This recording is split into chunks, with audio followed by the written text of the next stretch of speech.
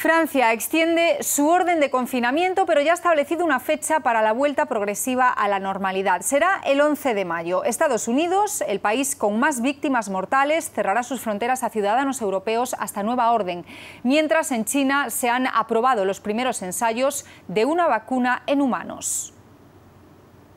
Así ha despertado Francia tras saber que el confinamiento continuará unos días más, pero ya tiene fecha de caducidad.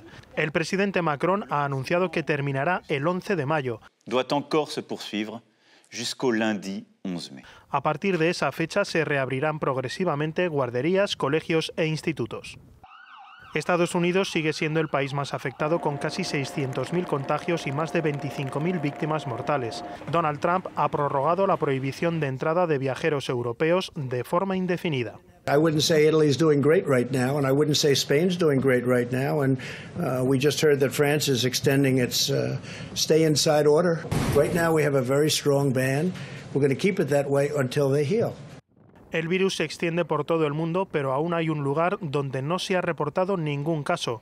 Es el continente antártico, en el que continúa con normalidad el trabajo de las bases científicas, aunque se extreman las precauciones. Obviamente para alguna base podría ser eh, devastador. Eh, no tenemos la capacidad eh, de hospitales que tenemos en otros países China pondrá en marcha de forma inmediata dos ensayos clínicos con humanos de una vacuna contra el coronavirus. Eso sí, los trabajos no concluirán hasta noviembre del año que viene.